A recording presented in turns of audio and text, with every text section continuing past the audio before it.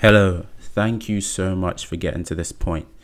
Um, I just want you to know, firstly, that you've clicked on this video for a reason, and I really, really want to help. There's not much information about AKN or bumps at the back of your head. You've probably been to your doctors and they just tell you that you need steroid shots or you need to go on certain antibiotics. And um, there's just a lot to this, and there's not a lot of men, especially men of color, even talking about this online. This is why I've created this. This is more of a lifestyle thing. I want it to be a comprehensive guide for you. I just want to put a disclaimer before we even get into anything here. I am not a doctor. I'm not a healthcare professional. I'm just an individual who's gone through this for a long time. And I want to share with you all the knowledge that I know so you're able to treat this and basically change your life. Because I know for a fact if you're watching this video, this is affecting your life like really seriously it's affecting your life. You it's probably affected you socially at work dating personal life. Everything is affected by this because it's not just oh a bump at the back of your head. It, it literally affects everything because the way that we present ourselves and our self-esteem are all tied to these kind of things. And i just want you to know i'm not a doctor but i'm just here to help. And i'm going to try my best to give you all the information and equip you with all the information that you need to be able to live with this, reduce it, and like I did, completely get rid of it. Now, I want to start by just telling you my story and how I got AKN. I got the bumps at the back of my head.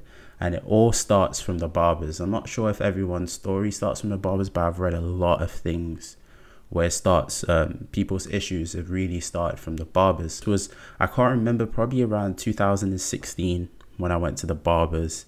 Um, it was a frequent thing. It was just a regular routinely thing that I would do. Is I would go to the barbers, get a haircut, and go back home, have a shower.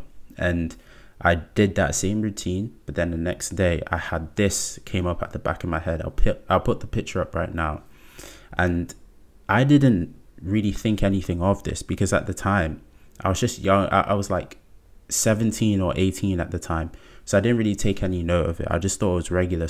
Uh, it was just a regular spot or something that would leave in the next two to three days or whenever. I didn't think it was gonna persist and stay there, and that's something I know a lot of you guys will probably think of this as well. Like, but we can't be dwelling in the past. Is that you wish you tackled this issue as soon as you can. And if you are one of those people who are on this video and you did and you are taking action now, I'm telling you, it's not going to be as bad as it could get if you tackle it early. And I wasn't one of those people who tackled it early. It started very, very small. And at the time I was gonna I was heading off to university, so I was kind of feeling a little bit insecure about it before I even went to university because I thought, oh damn, like I've got this at the back of my head. This is a time in my life when I'm supposed to be really social. Like um, I'm supposed to be really active, doing things and out with people, and um, but I didn't really pay too much attention to it. Um, this was around a month in, and I decided that it was just a regular spot that was just taking a really long time to go. So I just left it. I didn't go to the doctors. I didn't do anything about it really. And during the first three months, I realized that it was actually getting worse. Um, the papules at the back of my head were getting like harder and they were forming together. And as you can see in this picture that I put here, this was around three months in. And this is after going to the doctors. I went to the doctors and they just told me it was just um, psoriasis. But I was like, I've never had psoriasis in my life. So what they were telling me and the things that they were giving me and the medications that they gave me didn't really help at all. And um, this was around the time where things were really heating up uh, in my social life where I had to be constantly active. I used to go out and play sports all the time. You know, I used to play football a lot. And I couldn't even do that because I was too embarrassed to like even show the back of my head. And this is when I knew it was getting really bad is because I stopped. I completely stopped going to all these social things um, because of because of the AKN, because of spots at the back of my head. And at the time, I genuinely thought to myself, like, I need to find a way to cure, like, to get rid of this stuff. So again, I went back to the doctors and I was like, I need and and these were the pictures. I'll show you. These were the updated pictures that I sent. I had to send it to the doctors, and then I went there, and then they took a sample, and then they put me on some more medication. But this time they put me on steroids. So they put me on a steroid cream. Uh, they gave me a topical one, and I was supposed to take an oral one at um some point in the future. But what happened was like it was just getting really inflamed. And I'll get to this as well because uh, this is just a huge thing. Um, now that uh, everything's calmed down and there's basically nothing at the back of my head due to some lifestyle changes and uh, just the whole encompassing thing that I want to talk about and uh, and give you this information it will make a lot of sense, right? So I went there, they gave me some steroids. It did calm down a little bit. So I spent like two months of that time, uh, two months of this time just um, just feeling okay. I was back to going out because they were they weren't as bad uh, anymore. So they were very similar to how they were at the beginning. So they were just like really tiny pimples, and I was like, okay, at least I can head out now. They're not as bad as they were before. And then this happened. You can see how bad this is right now, how horrible and disgusting looking this is looking imagine I think that it's healing and then it comes back even worse, like even more aggressively. And this is the point where I completely stopped going out. I completely stopped because there was no way that I could go out socially like with this at the back of my head. It was that the point where the doctors said to me like, um, don't wear anything that's close to your neck or anything that will irritate um, that area. So what I did was I, I still wore caps because I still had to get through the day. I was in a social environment. I had to wear a cap to go shopping for food and just maintenance and things like that around my personal life that I had to still go outside for. I would just be constantly wearing hats and caps and things like that. And ultimately, because I made that decision for when I went out socially, um, even to lectures, I had to put a cap on this was also affecting my scalp in general. So, meaning the infections that were happening because you know how it is when you have this aggressively, you have bloody ta- you have bloody pillowcases. Um, if you wear a do rag, like the only solution that I had was to wear a do rag to bed, tie it around my head, put it back so at least I could sleep on my pillowcases without having bloody pillowcases. This is nuts when we think about it, that for us like black men or men of color people curly hair that this is what we have to go through because there's no real solution that uh, it's just very very frustrating that we have to go through this and this is something that fully affects your life you know this fully affects your life if you're at the point where you're sleeping with bloody pillowcases and I know a majority of you guys have gone through everything. You have tried everything. Like there was a point where I was put putting turmeric, like you know the powder, putting turmeric on there to be like, oh, let's see what happens. I was just experimenting on myself because apart from um, what the doctor suggested, which was surgery, which was like laser surgery, um, this usually happens when the papules um, of sort of keloided and joined together, but mine wasn't as they were really small and my dad kept on telling me not to take those chances because when you have surgery it's a it's a really long road essentially. So what i basically did um, to to to start solving my issue honestly i'm good uh, in the next few videos that i've got at the bottom which you can get and you can watch all of them like a five part um, the five part is just going to be on dealing with AKN, changing your diet, um, home treatment, lifestyle, and exercise.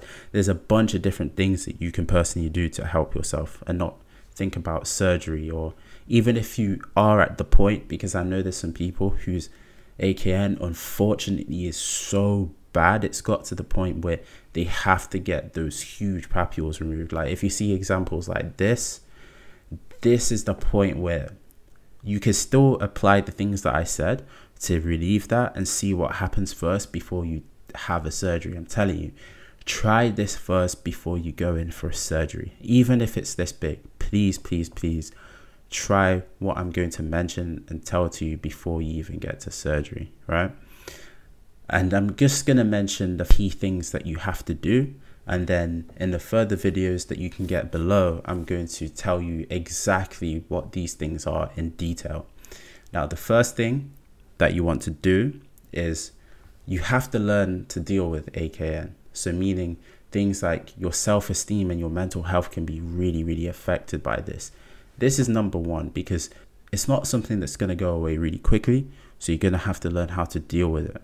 You've got other mechanisms to free your mind and maybe some form of meditation or uh, exercise or something like that. You have to put in place something where you're still you're still taking care of yourself mentally because it takes a huge mental toll. It takes a huge mental hit on you because this really affects your self-esteem. I don't care how handsome you are, how good looking you are, it really, really will affect your self-esteem. Now, the second thing is, really quickly, is to change your diet.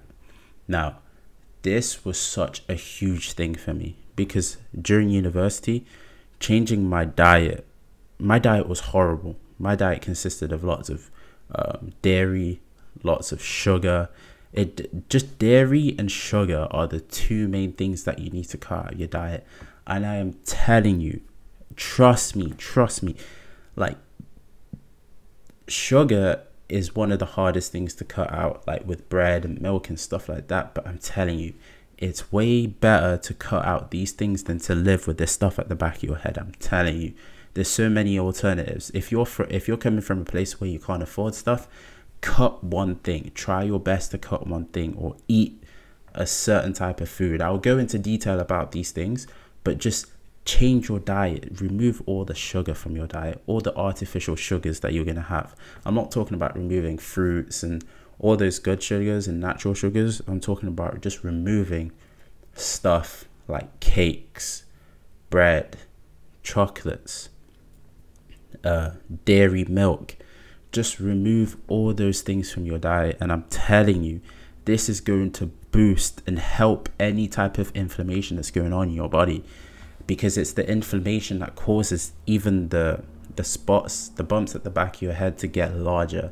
Because even now at this point, while the back of my head is clear, when my diet changes or when it's uh, holiday season, I'm eating more junk stuff, I'll start to see little little tiny bumps come up again, and this lets me know that my diet is an extremely huge part of solving this issue. Okay, now remove artificial sugars and also remove dairy.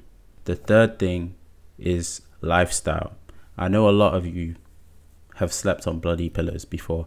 I know there's been instances where you touch the back of your head and you look at your hand and it's like, why has it got blood on here? Or the back of your head is just randomly oozing. Just stuff like that. That's just horrible, so horrible to live with. But it's just part of the game. It's just part of this thing that we have to deal with. So just making sure that your hygiene's on point. That's the first thing. Um, making sure that I, I know that um, we're going to be wearing hats and stuff like that to cover it. The doctors will say not to do that, but it's a psychological thing as well where you still want to be able to go outside, so you just cover it up. But if you're going to do that, making sure that your hats are always clean and things of those nature, just making sure that your hygiene is on point. And also, a tip, a big tip, if you can, just learn how to cut your own hair. That's going to help you a ton. Trust me. You don't have to go back and get the same infection that the barber gave you. Do you know what I mean? Like, just learn how to cut your hair, or at least try, or just give yourself a buzz cut or something. The fourth thing is exercise. This is all tied together with exercise. When you're working on your body, it helps you mentally and physically. And this is just going to tie everything together. So, those are the top things that you need to do. Um, and again, I've got five extra videos that go into detail on these things, letting you know where you are with your AKN. Remember, guys, I am not a doctor. I'm just giving you information that will be beneficial to you so you can use it and apply it to your life, right?